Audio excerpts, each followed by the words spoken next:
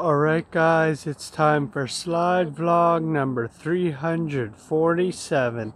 Slide vlog marathon part 7 edition. So this is slide vlog marathon.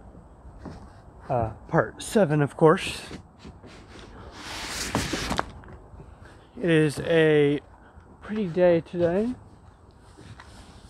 That's my weather update.